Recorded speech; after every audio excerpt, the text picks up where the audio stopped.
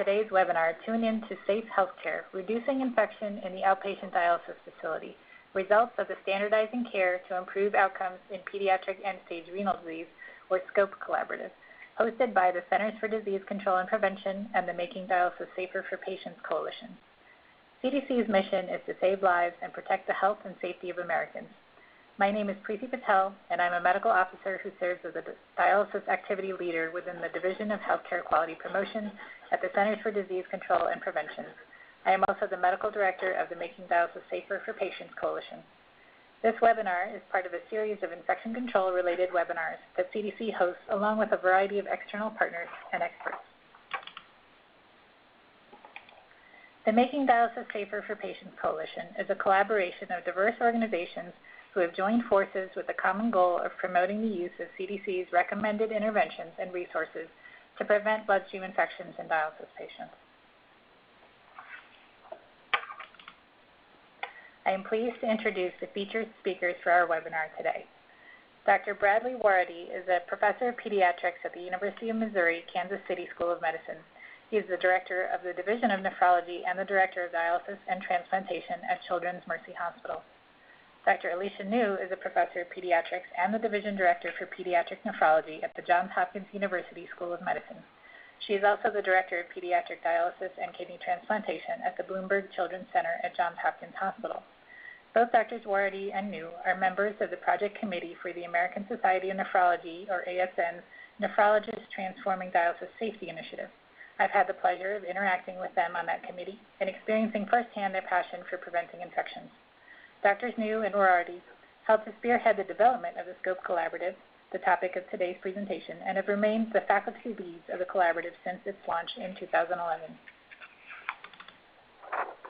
Before we get started, there are a few housekeeping items to cover. We welcome your questions. Please submit any questions or comments you have via your chat window located on the lower left-hand side of the webinar screen anytime during the presentation. Questions will be addressed after the presentation as time allows. To ask for help, please press the Raise Hand button located on the top left-hand side of the screen if you need to chat with someone for technical assistance during the webinar. To hear the audio, please ensure your speakers are turned on with the volume up. The audio for today's conference should be coming through your computer speakers. In addition, the speaker slides from today's presentation will be provided to participants in a follow-up email. Without further ado, I'd like to turn it over to our first presenter, Dr. Warady. Well, thank you, uh, Preeti, very much uh, for that introduction. And I just want to begin by saying that uh, Dr. Neu and I are, are, very honored to be able to uh, uh provide this webinar to give uh, folks some insight into the activities of the SCOPE Collaborative. knowing how many people have signed up for this webinar, it's, it's great to hear that there's so many of us around the nation who have, have, a goal of decreasing the rate of infection in patients on dialysis, both pediatric and adult patients. I suspect that many of you are not pediatric uh, providers, and so I thought I'd give you two uh, background slides to uh, give you a little bit of insight into pediatric dialysis. This slide is from the 2011 annual report of the NAPRTCS, or the North American Pediatric Renal Trials and Collaborative Studies, an organization that's had a registry of pediatric kidney disease for more than 25 years. And here we're looking at the primary diagnoses associated with the development of end-stage kidney disease in children based on, on some 7,000 children.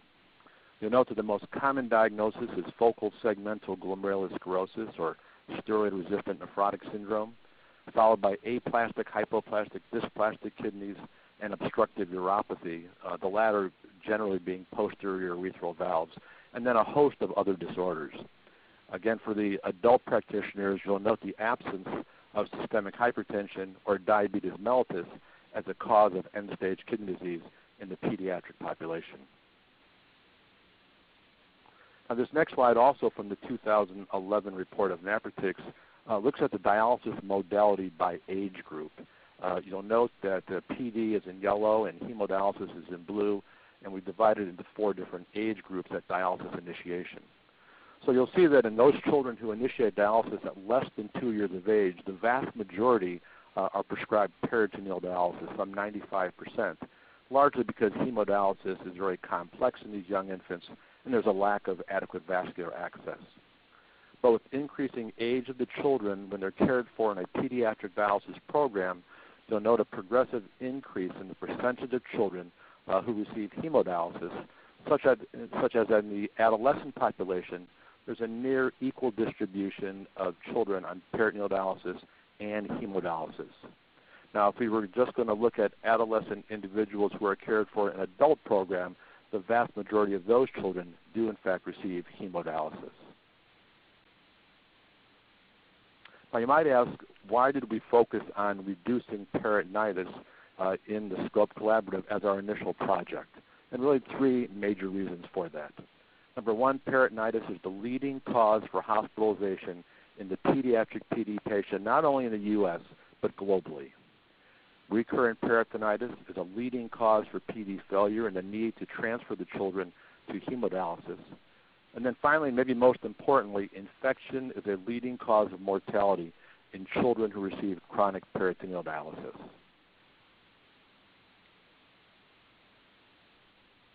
This slide reviews the variability in peritonitis rates that we see uh, in the pediatric population. We're looking at peritonitis rate in months between infection. So if we look at the mean data from the NAPRTCS, you can see that the mean rate is about one infection every 28 patient months. This data here is from the International Pediatric Peritoneal Dialysis Network, where the mean infection rate is approximately one infection every 20 patient months. But each of these dots represent the peritonitis rates at different centers across the U.S., different pediatric dialysis centers. So you can see the great variability with these centers having very frequent episodes of peritonitis and this center here having very infrequent peritonitis. And this variability in the peritonitis rate suggests that there is variability in the care provided to these children. And our hypothesis has been that if we can develop more uniform approaches to care, that we would indeed see improvement in the rates, a decrease in infections uh, in these children on chronic PD.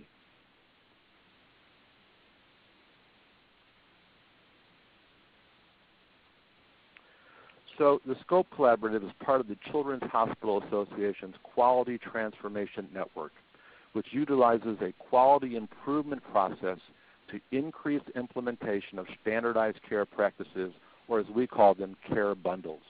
Uh, the system is such that we're utilizing, again, the SCOPE Collaborative, which has experience with CHA, the Children's Hospital Association, uh, in the experience facilitating national collaboratives.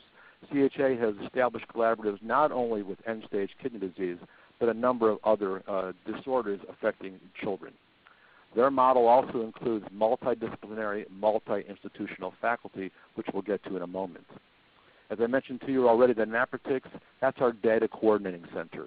Uh, so all the data is located centrally at the NAPRTCS, and the NAPRTCS has 25 years of experience with data collection in pediatric CKD, dialysis, and transplantation, with data from over 140 pediatric nephrology centers across North America. Now, most important to this collaborative structure are the site teams. As we said before, there are multidisciplinary teams that are testing and implementing the care bundles. Now, in each team, there must be pediatric nephrology representation and pediatric dialysis nurse representation. But there also may be individuals from the QI department, uh, infectious disease, uh, even surgeons. And so the, the makeup of the team and individual sites does vary, but there's always pediatric nephrology and pediatric dialysis nurses. These teams report process and outcome data on a monthly basis, and they participate in workshops and webinars and listservs, and we'll come back to that in a few moments.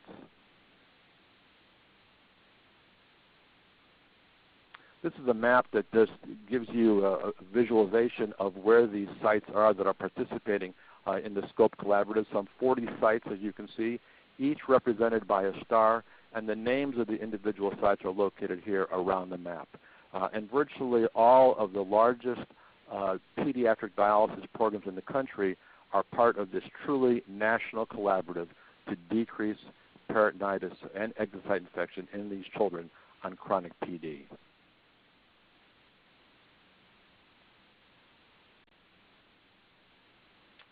Now, once again, the SCOPE Collaborative is part of this quality transformation network uh, that utilizes quality improvement to increase implementation of standardized care practices.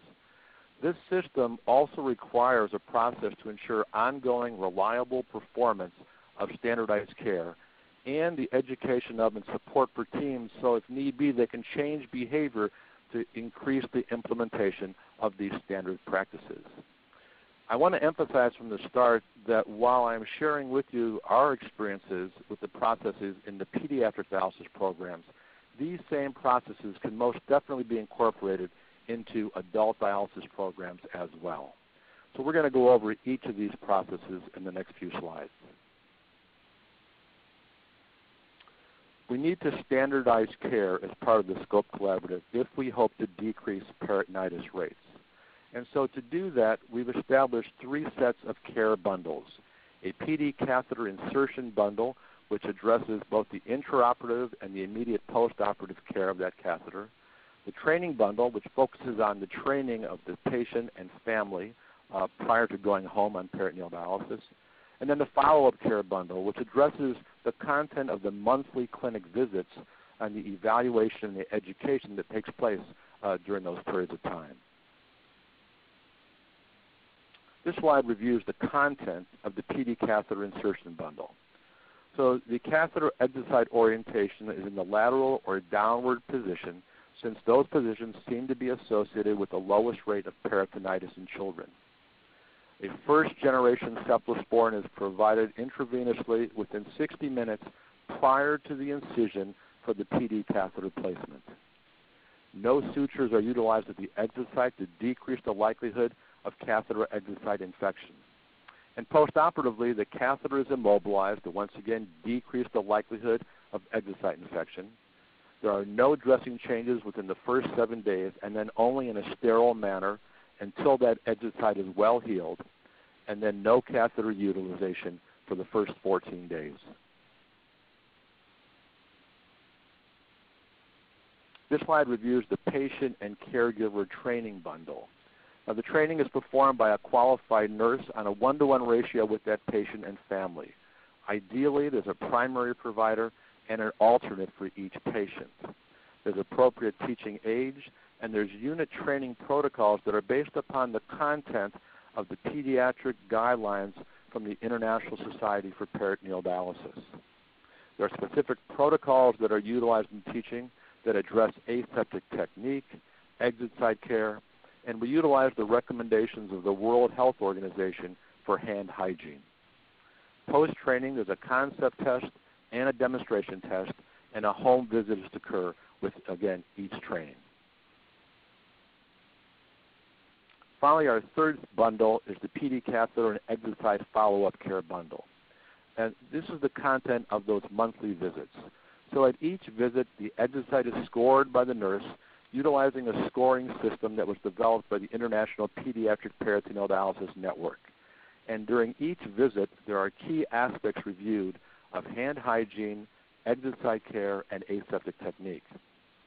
Now, one component of this bundle that very few sites utilize before the SCOPE Collaborative uh, is the utilization of a six-month demo test and concept test, and that is every six months while that patient is receiving PD. And this is a means to review the retention of the information that has been shared with the patient and the family as part of the training process. There is focused retraining after each peritonitis episode, and then prophylactic antibiotics are used following touch contamination or any other breaks in technique according to the guidelines of the International Society for Peritoneal Dialysis. And this is particularly important, important because we see that coag-negative staph is one of the most common organisms that gives rise to peritonitis in our patient population. Now, the next important issue to address is auditing, and it's important that we audit our performance so that we can ensure reliable performance of the standardized care. Uh, and if indeed we see that we are not achieving that reliable performance, it allows us to modify behavior to, again, hopefully improve the implementation of these standardized care practices. Now, in most quality processes, one looks at a subset of data and then analyzes that as part of quality improvement. We do something different in scope. We gather compliance data on every catheter insertion, on every initial training session, and on every single follow-up visit. So we have a, a robust data set of compliance that helps us, again, uh, achieve the best possible outcome in these children. When we look at compliance in the SCOPE Collaborative, we look at it a, as an all or none phenomena. So for instance, this are the components of the training bundle. Now if we're looking at compliance and training, we have to be compliant in all aspects of the bundles. So for a nurse to say that she has been compliant in conducting the training bundle, she has to be compliant in all of these different elements of that training bundle. It's truly an all or none phenomena, and thus we have a very high bar to achieve in the SCOPE Collaborative, uh, but we think that is the, the best approach to achieving the optimal standardized care practices. Now, the next important process uh, in this uh, uh, overall initiative is to teach the clinical teams to change their behaviors and to teach them how to engage patients and families to implement the best practices. And I think this is one of the most important components uh, of this entire initiative, this engagement of patients and families. Clearly, when you're conducting a procedure like peritoneal dialysis that occurs in the home, we have to have a seamless partnership between the clinical team and the patients and families if we hope to achieve the best success. And so I think this has been an integral component uh, of scope that is now being shared uh, across our collaborative. We teach the clinical teams to use quality improvement methodology to increase implementation of these standardized care practices. And the model employed by SCOPE is the model for improvement. And this includes the use of plan, do, study, act cycles or PDSA cycles, small tests of change that drive improvements. Also crucial in this entire process is developing a culture of safety. Patient safety, especially infection prevention, must be a priority in the dialysis unit of every member of the healthcare team, including the patients and their families. And all of these stakeholders must be empowered to implement that, that, that change if we hope to achieve the best outcomes.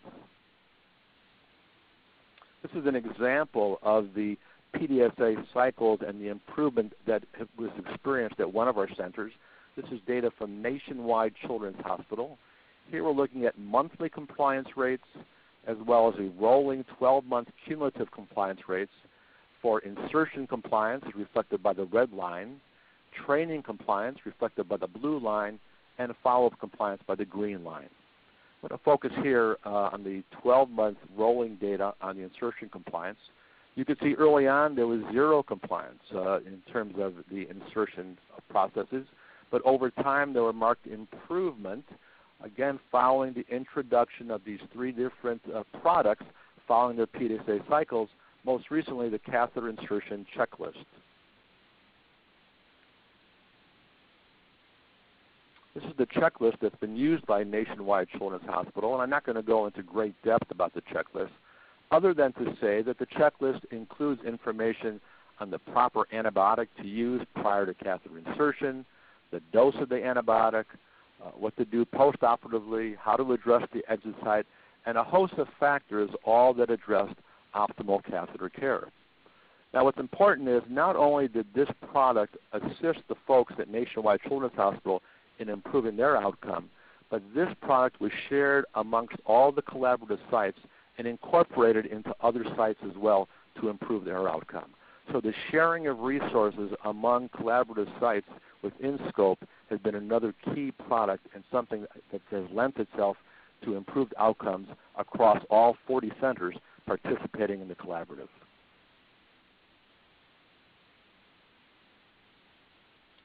Next, we need to support the teams with monthly transparent data and networking sessions, another key aspect of the SCOPE Collaborative. And this slide is the home page of the NAPRTCS just to highlight the fact that there's real-time data that is available to be shared among all the sites in a transparent manner that are participating in SCOPE. Uh, these data, like I said, are real-time, and anyone can see anybody else's data. This is very, very important for the quality improvement process. Centers need to be able to track their own data so they can see how they are doing and they can identify areas where they are struggling and where some change of behavior may be helpful. They can also view other centers' data to allow them to identify centers who are doing well so that they can reach out to those centers and learn from their experience.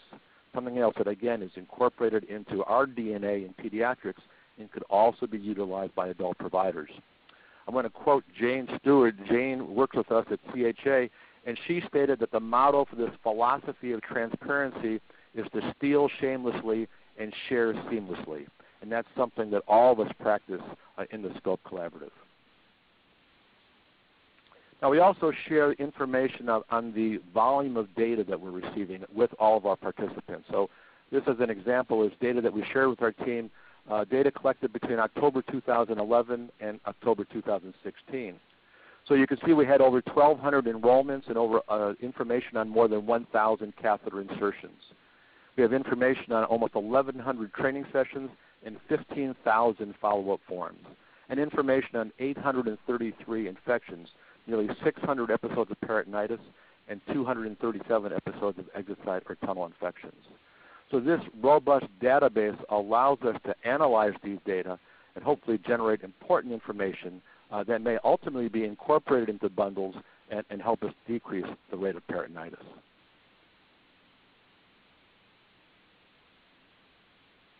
We also share information with our teams uh, on the rate of infection. And here we're looking at data on the aggregate monthly exit infection rate. So here we're looking at months between infections. This is all exit infections. And this is the same data but characterized by infections per patient year. Now here we're looking at the months over time, and I think what should be evident to you is the great variability that occurs on a month-to-month basis uh, in the number of infections that are seen across the collaborative. But if we look at it as a 12-month rolling average, you can see that there has indeed been a gradual improvement uh, in the exit infection rate. Once again, here's months between infection, the rolling 12-month cumulative data, and here's the infections per patient year. And so you note that early on, in October 2011, the annualized rate was somewhere around 0.38 infections per patient year, and we progressively improved to somewhere around 0.15, 0.14 infections per patient year. Other data that we share with our team uh, related to exit site is data like this, a control chart.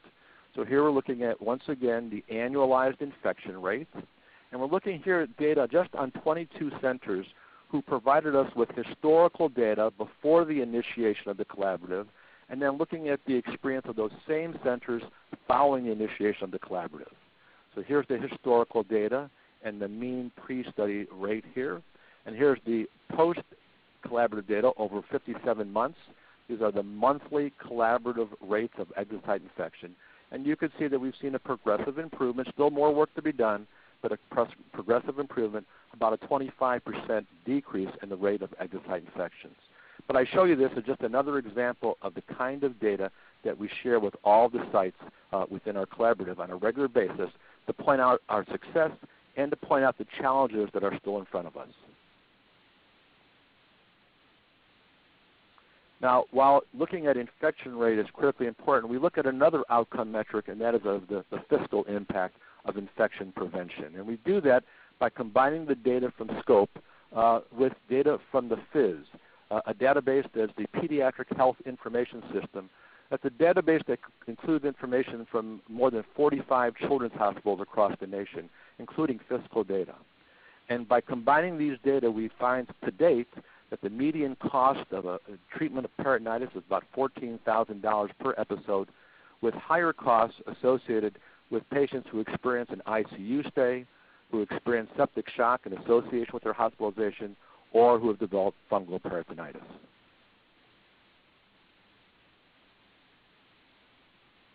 Now you might ask, well, where does all this networking occur? And I think this is, again, critically important to the success of SCOPE. So we have monthly webinars. And in those webinars, we have the participation of one or more representatives from virtually all 40 centers that are participating in SCOPE. The webinars may be educational sessions, we may be sharing challenging cases, we may be discussing potential new initiatives, but it's a way to truly hear from one another's experience maybe the most important networking opportunity is the twice yearly face-to-face learning sessions that we have. This gives us an opportunity to sit at the same table with individuals, learn from their expertise and their insights that we can incorporate into our own sites. We hear failures, we hear success stories. And I think all that has allowed us to then generate more PDSA cycles, more improvement that's been shared across the collaborative. So this is the kind of interaction, again, it's occurring here in pediatrics. It certainly can occur in adult programs as well and is key to the improvement processes that we're experiencing. There's an e-group listserv. There's a practice inventory where the nurses are collecting information uh, on PD practices, not only those that are within the bundle, but even outside the bundle. And the, again, review of that information lends itself to more information in terms of how we might decrease infection risk in our patients. And then there's regular online sharing of resources amongst all the participants from the collaborative.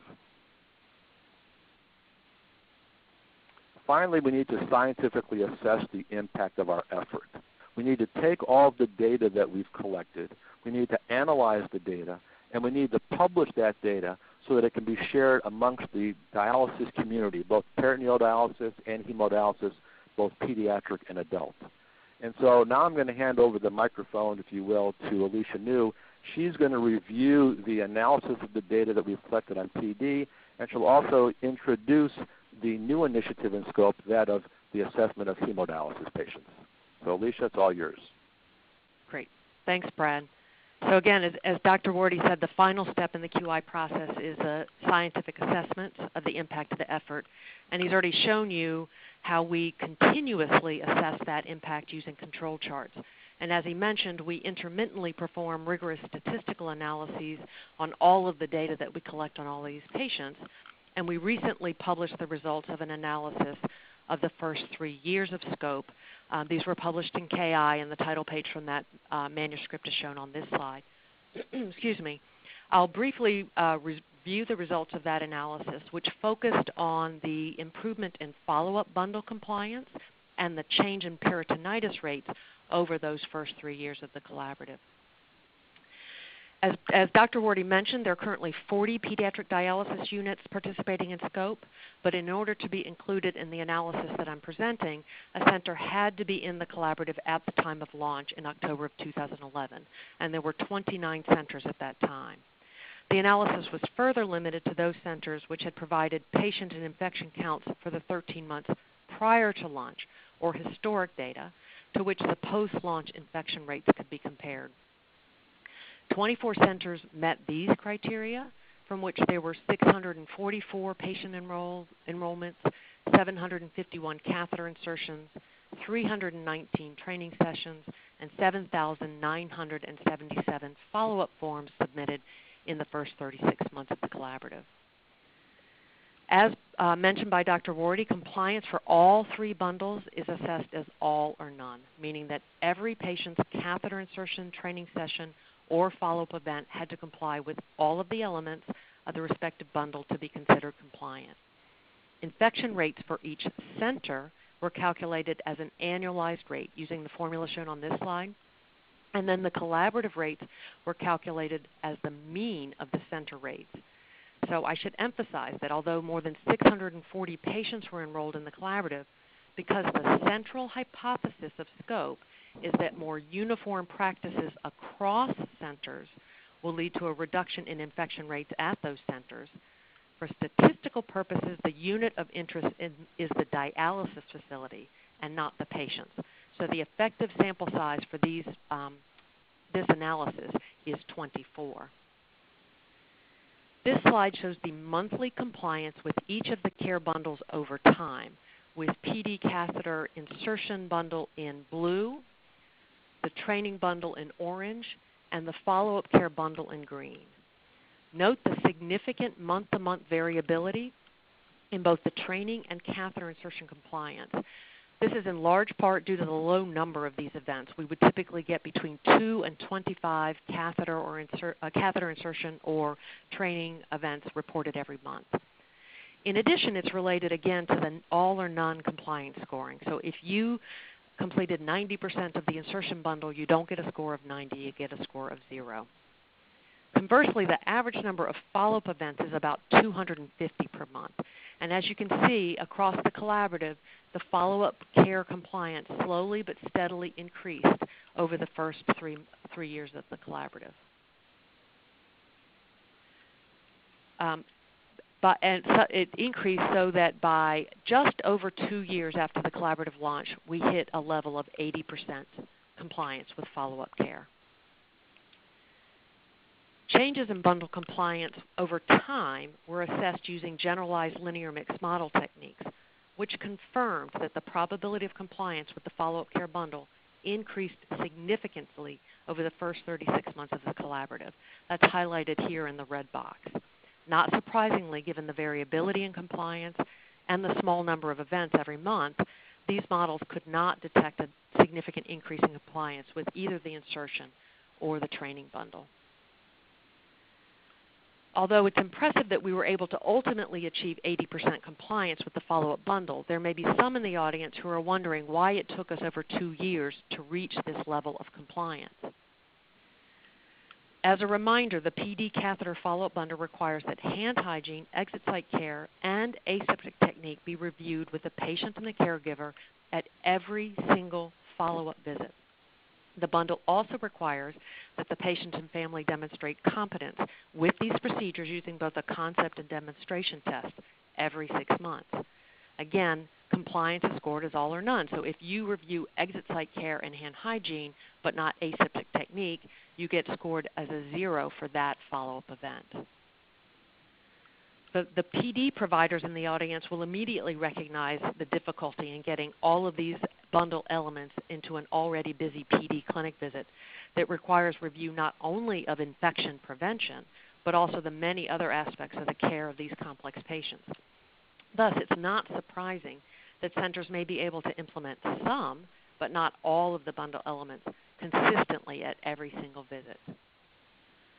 In fact, this figure shows both the monthly overall compliance with the follow-up bundle here in this solid line, along with the compliance with each of the subcomponents in the various dotted lines. Note that compliance with nearly all of the elements individually achieved a 70 to 80% compliance level within a few months of the launch. But overall compliance, which again requires that we do every single one of these things in every single visit, did not reach 80% until the fall of 2013. Again, if you were previously surprised that it took us over two years to get 80%, you, now, you may now be surprised that we got there at all. And achieving this level of compliance was only possible because the entire care team at each center participated in the quality improvement process. Each center, as, as Dr. Warady mentioned, is charged with developing ideas to increase compliance. They are to test them in a few patients. They get feedback from the entire healthcare team and from the patients. and then they either spread it to other patients if it was successful, or if it wasn't successful, they go back to the drawing board. They modify it and try again. These small tests of change.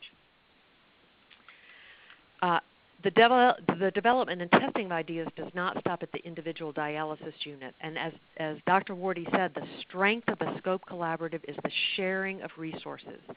Ideas, processes, tools, experiences, and resources are shared and stolen freely across the SCOPE Collaborative.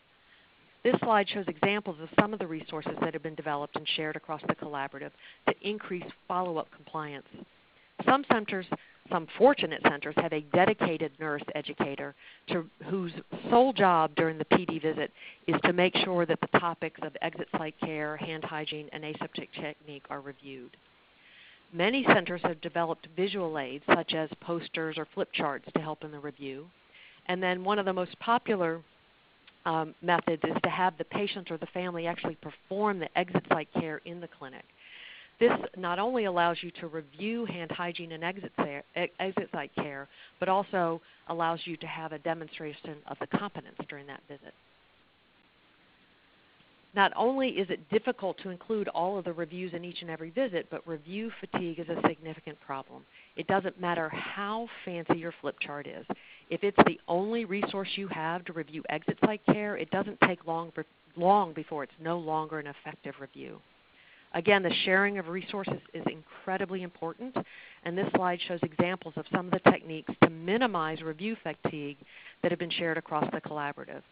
This includes having the patient or their family monitor the hand hygiene practices of the providers in clinic.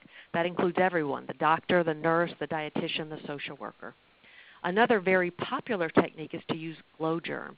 For those of you who are not familiar with Glo Germ, it's a substance that's visible under black light. And so the patient or their family puts the Glo Germ on their hands. They then perform hand hygiene. Um, and then they put their hand under a black light, and any areas where the hand hygiene wasn't effective will glow. It's very popular, particularly among adolescent boys. Um, many centers have uh, you developed video games, and the picture here in the bottom left-hand corner of the slide is a video game that we developed here at Hopkins. And it, our dialysis nurse, Barbara Case, intentionally makes mistakes at several steps of the uh, aseptic technique and the patient is instructed to click the mouse whenever they see a mistake, and the video game immediately tells them whether they've correctly identified a mistake. And then finally, some centers will have the patient or family record themselves performing the dialysis procedure in the home. Every patient and caregiver has to demonstrate competence with this procedure, but there's a difference between performing the procedure in a clinic and performing it in the home on a day in and day out basis. So they record themselves performing the procedure using a phone or a tablet. They then bring the, the recording into the clinic where it's reviewed with a nurse or a nurse educator, educator in an open and a non accusatory environment the patient and the family are reminded that the goal of the review is not to place blame, but to identify ways to improve their technique. These are just a few of the examples of the many resources that have been developed across the collaborative. As Dr. Warady mentioned, they're shared by centers on the e-group or maybe presented on the monthly webinars or, or at our face-to-face learning sessions, and then they're made available on the uh, online at the CHA or the Children's Hospital Association website. Moving from compliance to infection rates because again the, the goal of the collaborative is not just to get people to do all these things during clinic but rather to see whether or not all these things actually can reduce infection rates. Among the 24 centers included in this analysis there were 206 peritonitis episodes reported over 3,778 patient months in the 13 months prior to the collaborative launch these same centers reported 320 infections over 8,853 patient months in the 36 month post launch period. While it is tempting to compare these two crude rates, we need to remember that the post launch rate here includes the entire 36 months following collaborative launch, including that two year period when the implementation of the follow up care bundle was low. Thus, a comparison of these rates would not test the hypothesis that more uniform delivery of care will reduce infection rates because it includes in the post-op period a time or a post-launch, not post-op, post-launch period when uh, a time when care was not uniform. In order to test that hypothesis, you have to look at average monthly peritonitis rates, which allows you to detect trends in rates over time. To do this, a model was fit using average monthly peritonitis rates, and this analysis revealed a statistically significant reduction in monthly peritonitis rates from a rate of 0.63 episodes per patient year to a rate of 0.42 episodes per patient year at 36 months post launch. This slide shows the average monthly peritonitis rates in the pre launch period to the left of this red um, vertical line, and the 36 month post launch period to the right of this line. Also displayed is the monthly follow up compliance here in the green dotted line. These data graphically suggest that as follow up bundle compliance increased, the variability in peritonitis rates decreased in order to determine the level of follow up compliance required to achieve a significant decrease in infection rates, we performed a sensitivity analysis in which we compared the peritonitis rates in the pre launch period. Oh, sorry, let me go back one slide. In the pre launch period here, with rates following achievement of various levels of follow up compliance. So the rates were in this time period were compared to this, this time period to this. The results of that analysis are shown on this slide. The mean compliance threshold is here in the first, uh, first column, and the ratio of peritonitis rates in the pre-launch period over the rate in the time period after achievement of each of the compliance threshold is shown in this fourth column. Since it is a ratio of pre-launch rates over post-launch rates, the lower the rate after the compliance threshold is reached, the larger the ratio. This analysis confirmed that as mean compliance increased, the peritonitis rates decreased, so the ratio increased, reaching statistical significance at a mean compliance of 80%, at which the pre-launch peritonitis rate was 42% higher than the rate in the months following achievement of this level of compliance.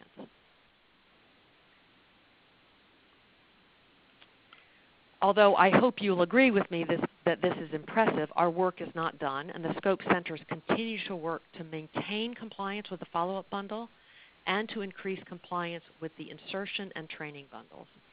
We've also developed research groups which have, uh, within the collaborative, which have tried to identify whether there are clinical or demographic factors or even other care practices that may influence infection rates. We've also developed innovation groups that have uh, sought to optimize care practices not specifically included in the bundles, including improving identification and treatment of touch contamination, developing health literacy sensitive education and review materials, and increasing patient and family engagement in the quality improvement process. We now move to the hemodialysis project, and as Dr. Warady mentioned, it is our, our more recent project, and it launched in uh, 2013. Like the PD project, the HD project seeks to reduce HD access related infections by increasing implementation of standardized care practices. While it is well recognized that the single most effective way to minimize HD access related infections is to reduce the use of catheters, it's also well known that catheter use remains common in pediatric patients. This slide is taken from the USRDS and it shows hemodialysis access type among prevalent pediatric patients, hemodialysis patients in the United States. As you can see, a majority of children, and particularly young children, continue to have a catheter as their hemodialysis access. There are many reasons for this, including the fact that the majority of children on dialysis actually receive a kidney transplant within two years of reaching ESRD, and so a more permanent access is not always warranted. In addition, it may not be technically feasible, as Dr. Warady mentioned, to create a uh, vascular access and specifically an AV fistula in a very small child. Thus, any effort to minimize HD access related bloodstream infections in children must include efforts aimed at reducing catheter associated infections. Therefore, the HD project includes standardized practices for accessing tunneled catheters as well as AV fistulas and AV grafts. The specific practices included in the HD catheter connection procedure is shown on this slide and includes the requirement for hand hygiene using the WHO protocol and appropriate personal protective equipment for the provider and a mask for the patient. The protocol does require scrubbing of the catheter hub with an appropriate antiseptic solution. While the scope bundle was largely based on the recommendations from the CDC, it does differ from the CDC recommendations in that it allows sodium hypochlorite to be used to scrub the hub. In addition, the procedure for povidone iodine does not specifically include a scrub, but rather applying and allowing the agent to dry according to manufacturer recommendations. SCOPE is planning to work with the CDC to evaluate these practices and the bundle elements to more closely align with CDC recommendations. After the hub is prepped, the catheter is connected to the lines using aseptic technique. The provider then removes gloves and perform hand hygiene. The hemodialysis disconnection um, cap chain procedure is shown on this slide. Again, it largely follows the CDC guidelines, except some additional agents are allowed for the hub scrub. The agents that are um, included in the scope bundle are shown here, and the agents that are consistent or, or included in the CDC recommendations are shown bolded. this slide shows the protocol for dialysis catheter exit site care and dressing change. And as with all the protocols, require proper hand hygiene and PPE. The agents for prepping the catheter exit site and the allowable antibiotic ointment or creams applied to the exit site differ slightly from the CDC recommendations, and again, with the uh, agents included in the CDC recommendations being bolded on this slide. Again, after the uh, dressing change, well, the um, frequency of dressing change uh, is shown here on the slide, and it depends on the type of the dressing change used. After the dressing is changed, the uh, provider should remove their gloves and perform hand hygiene. The procedure or the protocol for accessing an AV fistula graft is shown here and includes that the patient should wash the site with soap and water. Proper hand hygiene and appropriate PPE are used by the provider unless self-cannulation is performed. The site is prepped with an, an acceptable antiseptic solution and again, the acceptable solutions in the scope bundle are shown with the CDC recommended solutions bolded. After inserting, after inserting the needles with aseptic technique, the gloves are removed and appropriate or uh, uh, hand hygiene is performed. Finally, the decannulation procedure is shown here and includes the appropriate hand hygiene both prior to and after the procedure and appropriate PPE. As with the PD project, the HD project requires that all patients cared for in the unit be enrolled in the project. Data, obtaining data at the patient level is included in order to identify clinical and demographic characteristics that may increase risk for infection, especially in high-risk populations. This slide details the data collection process for individual patients enrolled in the collaborative. Unlike the PD project, it is not required that every single procedure in the hemodialysis unit be audited. It would obviously be too labor intensive to audit every single time a patient's access was connected and disconnected from the tubing. Therefore, centers are advised to audit a random sample of those procedures every month. They're encouraged to rotate the audit so that every shift and as many providers are audited as possible. As noted in the top half of the slide, the targeted number of audits is twice the number of patients cared for in a unit, with a maximum of 30 audits per month. Obviously, this means that not every patient enrolled will have a connection or disconnection audited. In order to ensure that patient level practices are captured on every enrolled patient, centers are also asked to provide a follow up form, which includes care practices for every patient at least annually. Just as for PD, the data are submitted online and they're available for, uh, for centers to review in real time. And we obviously also review the data on our webinars and at our workshops. And the data shown on this slide were presented at the workshop last fall, at which time there were 25 centers entering data. From these sites, nearly 500 patients have been enrolled and nearly 5,000 audits or observations have been submitted. This includes more than 3,000 audits of procedures involving catheters and more than 1,300 involving AV fistulas or grafts. The, break, grafts. the breakdown of those audits are shown on the slide.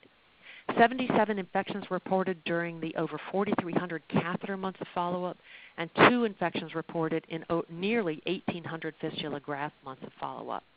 Note that centers are asked to report any positive blood cultures or other infection events, and then each of these events is centrally adjudicated by an infectious diseases specialist to determine if the event qualifies as an access-associated infection. So these, these numbers represent the adjudicated infections. This slide shows the monthly compliance with the care bundles across the collaborative, with catheter care compliance in red and AV fistula AV graft care compliance in blue. Each point um, shows the compliance for that care bundle in that month. In general, compliance with AV fistula and graft care is quite high. Compliance with the catheter bundle is more variable and hovers between 60 and 90 percent. Oh, I'm sorry, 60 and 80 percent, although it has increased slightly in, over the last few months. A compliance deep dive at our last learning session in the fall revealed that failure to apply an antibiotic ointment or cream at the exit site at the time of a dressing change was the single most important contributor to noncompliance with the catheter bundle. This slide shows the monthly rate of catheter-associated infections across the collaborative following collaborative launch in June of 2013. The rates are presented as the number of infections per 100 patient months. Unlike the PD project, which had a uniform launch date for the initial 29 sites, meaning all centers began implementing the bundles and collecting and submitting data in October 2011, that HD project has allowed a rolling launch. That is, centers can begin implementation and enrollment anytime after June 2013. The number of patient months and, and events is along the x-axis. And as you can see, for the first year and a half or so, there were very few centers entering data which was related to delays in obtaining IRB approval, consent, and ensuring that all of the providers were trained according to the bundles prior to the center launch. As such, the number of patient months and the number of events was relatively low. As the number of centers and therefore patients increased, the rates actually increased to more accurately reflect the rates across multiple centers rather than just a few. As you can see, as time has gone on, although there continues to be some variability, the rates have begun to drop.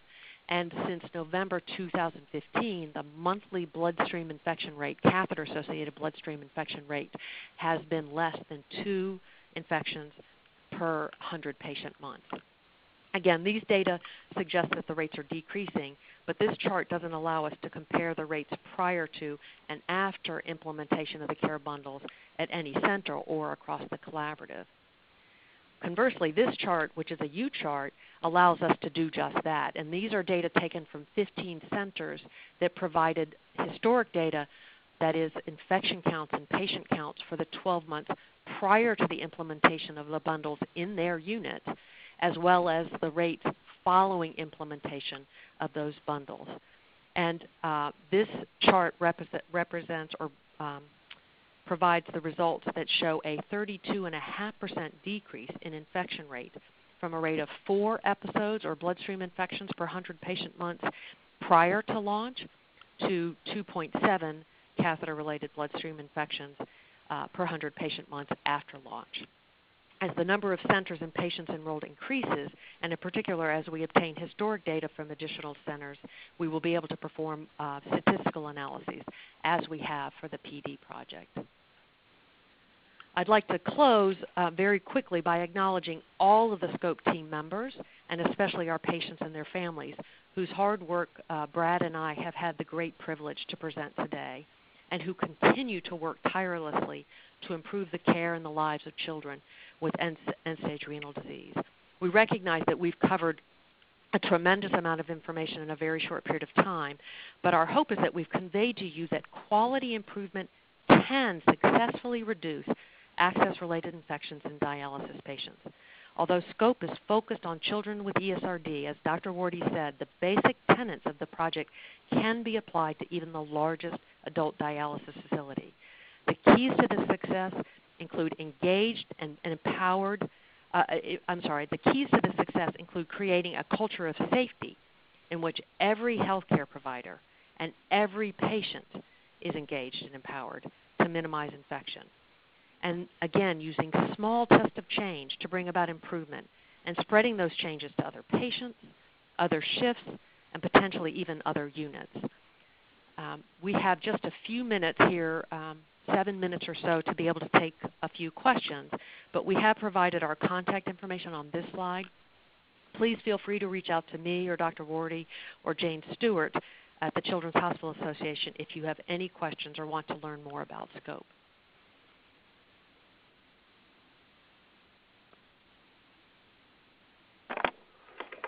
Thank you, Dr. Neu and Dr. Warady, for your time and expertise today and for sharing with us your experiences. Uh, we have a few questions that have come in. Uh, just a reminder to please submit your questions via the chat window if you have additional questions, located on the lower left-hand side of the webinar screen.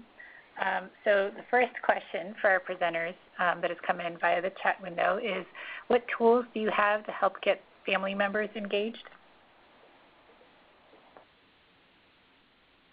Well, I you know I'll I'll respond to that first. I don't. Um, I, I think the first thing is to um, incorporate the family members uh, into the discussion of, of patient care.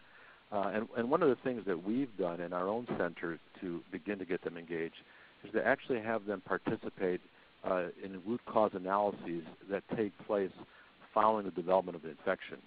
Uh, in one of our own uh, patients who developed peritonitis, having the families sitting at the table uh, and providing their perspective on infection risk uh, was extraordinarily valuable to our healthcare providers and, and was truly a great example of engagement of the patient and the family uh, into uh, improving the outcomes of the patient. So I think that is one way we get them engaged. And one other way that we get them engaged is that we have a regular uh, uh, meetings, if you will, with the dialysis families with no agenda uh, other than things that they want to address to improve the care of their children. And I, and I think that's very different than a, a clinic atmosphere uh, where everyone's on a tight, a tight timeline to get the work done. Uh, but having a, a, session where there's just uh, an agenda really generated by the families themselves, uh, I think allows us to really build on that partnership between the healthcare providers uh, and the families, and it, I think it really lends itself to uh, engagement. Alicia? I agree, Brad, and I think uh, again, um, engaging them in the process, the QI process, is very important. You know, we're implementing some of these things, the educational and the review materials, and so we seek their feedback and we ask them for ideas. You know, we're reviewing this with you every week or every month. Do you have ideas of how we can make this better? Um, and and they like getting involved in that way.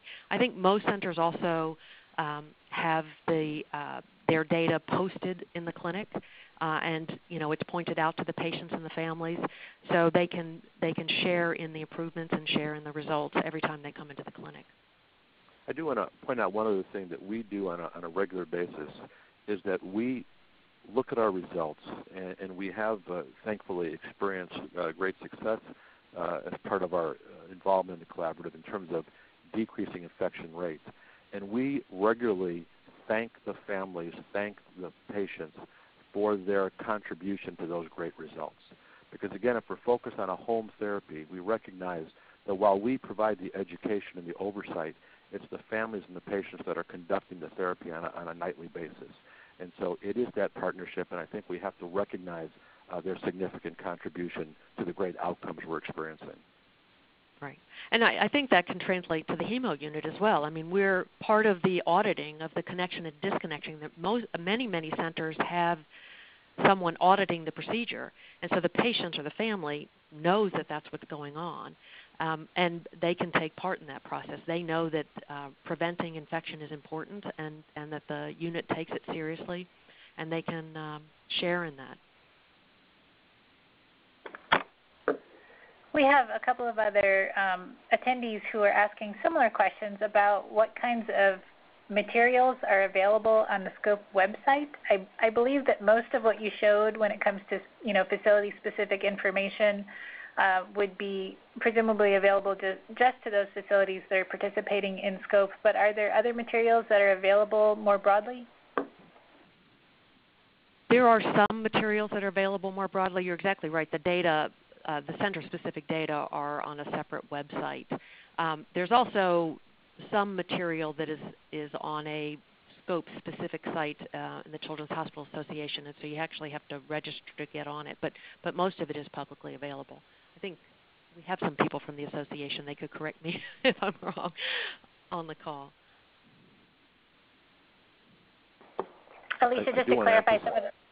Sorry, go ahead. Go ahead. I just wanted to. Well, I just, I just want to emphasize if there are any pediatric dialysis programs that are listening to the webinar that are not participants in SCOPE to date, uh, they certainly have the uh, opportunity to join the SCOPE Collaborative by again, contacting either Children's Hospital Association uh, or Alicia or myself. Thanks, Betty. Just to clarify, uh, Alicia, were you saying that most of the tools are available publicly? Many of the tools are available on the on the website, and again, I'm trying to search out some folks on the can confirm that as well and we're certainly happy to share. I mean, that one of the goals of the Children's Hospital Association is to spread what we have learned in SCOPE beyond the SCOPE Collaborative. Um, and so, you know, this kind of forum and sharing the information with other dialysis units is certainly part of the mission of the Children's Hospital Association. So we'll, we'll try to make sure we can get those things available. That's all the time we have today for answering questions. For those of you who submitted questions that weren't answered, we'll try to send out some information to address some of those by email after the um, after the presentation. I did want to just mention one other comment that was submitted, not a question, that just says um, kudos to all of those who were involved in the SCOPE collaborative. This is a, a true collaborative effort, so wanted to pass that along to the presenters and anybody else from SCOPE who might be joining us today. Um, so before we end today's webinar, um, I wanted to mention that to receive continuing education, you must complete and pass the post-test activity at at least 75% or greater and complete the webinar evaluation. So when you close out of this webinar, a post-meeting web page will appear that will have detailed instructions about completing the continuing education post-test and evaluation. For those on the phone who currently aren't logged into ReadyTalk Online to obtain CE, please go to www.cdc.gov backslash TCE online. The access code for this webinar is WC0131. A follow-up email will also be sent out this afternoon with detailed instructions about completing the continuing education post-test and evaluation. With that, I'd like to once again thank our speakers as well as all of you for taking the time to join us today and for your commitment to keeping patients safer.